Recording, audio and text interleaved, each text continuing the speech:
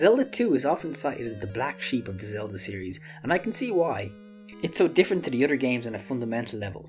This can make it hard to approach for players more used to modern Zelda. So more than any other game in the series, I would like to see this one remade, in a way that makes it more distinctly Zelda-like, while still retaining the core feel of the original game. And I think one of the best ways to do this would be to implement a rupee system. One of the key advantages of this would be to make potions a commodity in the game, which would do wonders to help people who struggle with the difficulty. But I would also use it so you can buy traditional Zelda weapons and use them in gameplay. The pure sword and shield mechanic in Zelda 2 are well done and can be pretty intense, but there's no real reason other weapons couldn't be added to the side scrolling style. Foregoing the usual style of finding weapons in dungeons, however, these weapons would be bought in shops like in A Link Between Worlds, and would work purely to aid in combat for those struggling to kill tougher foes. The exception to this would be bombs, which would replace the handy glove in Midoro Palace. The handy glove would still be in the game, it just would be moved to a later location.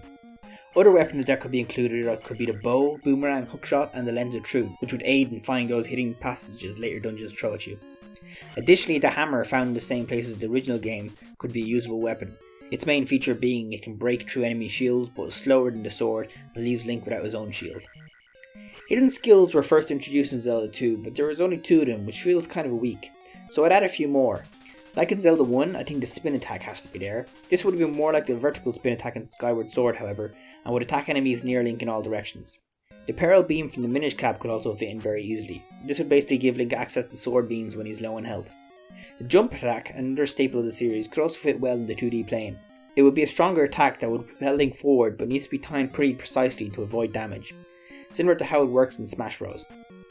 And finally, to give Link a late game super attack, he could learn Immortal Draw in the Valley of Death, which would be another risky but rewarding attack.